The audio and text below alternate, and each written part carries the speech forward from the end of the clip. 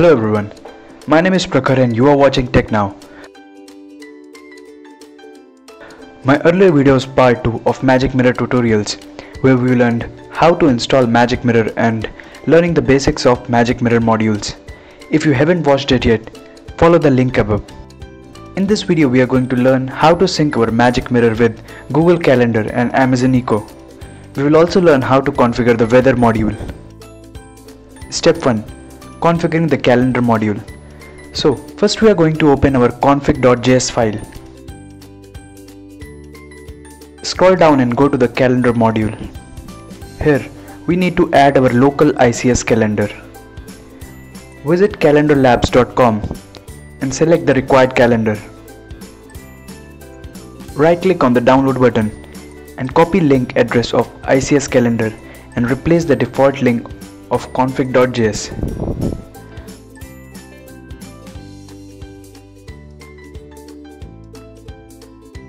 Modify the header to holidays. So, with this our basic local calendar is set. Next, we need to add our personal calendar. Hence, open your Google Calendar. Go to the settings and select the calendar you wish to add. Make sure to modify the settings of your calendar to public. Now scroll down and copy the public address in iCal format and paste it in your config file. Note that this calendar shall be within different set of braces separated with a comma. Now save the config file and let us test our calendar module.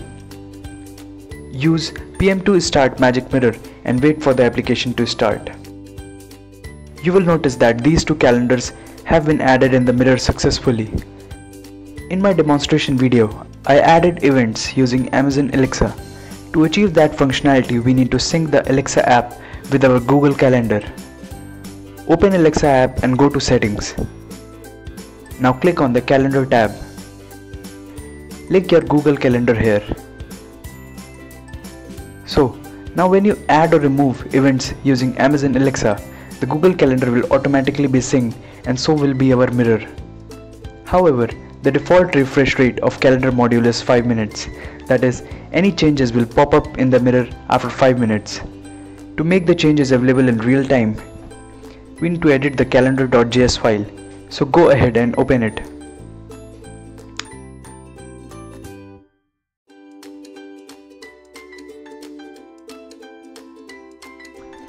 Change the fetch interval to 2 seconds and save the file.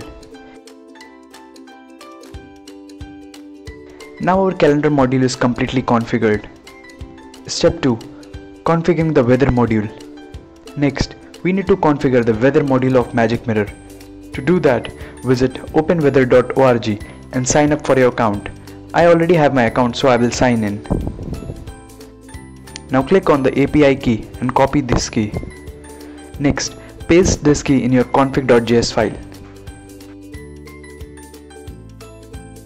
Edit your location. In my case, it is Navi Mumbai. So we need to add the location ID. Follow the given link. This will download a zip file having all the city IDs, extract it and open city.list.json file. This will have all the list of city ID. Go ahead and search for your city. Now copy this ID and paste it in your config file.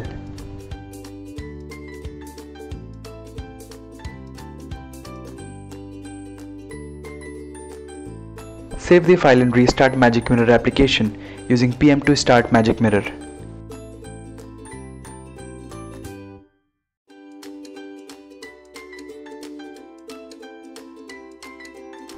Now, you will note that the weather module has loaded successfully.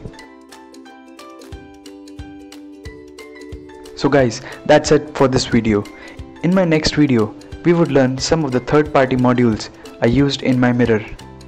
Thanks for watching. If you like this video, do subscribe and press the notification icon below.